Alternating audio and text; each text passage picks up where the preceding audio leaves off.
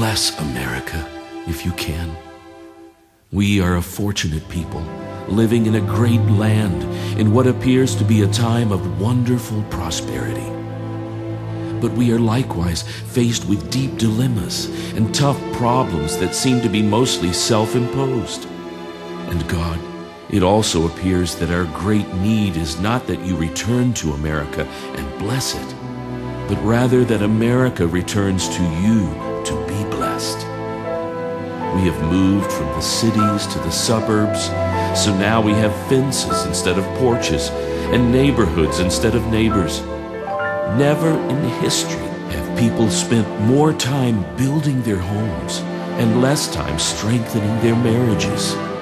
And never have people worked harder and harder to earn more and more that buys less. Seems to some of us that we have made technology our theology, and in so doing have increased our standard of living, while at the same time lowered our standard for living. We have two cars in every garage, but can't afford the gas to drive them anywhere. We have a TV set in every room, but there's nothing worth watching.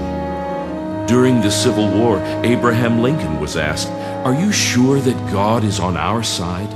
He replied, The question is, are we on His? So, God, please bless America. If you can't, we'll understand.